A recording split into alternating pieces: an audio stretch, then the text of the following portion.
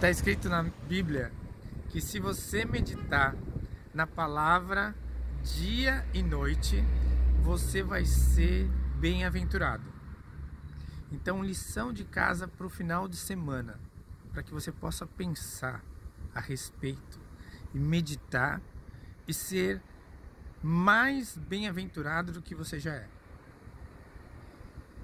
Você já parou para pensar na profundidade do significado da revelação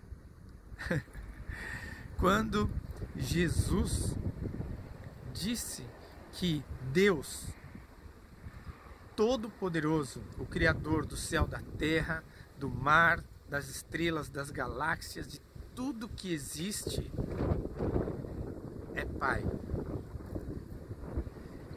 Qual é a relação que você faz desse entendimento com a sua caminhada com Cristo?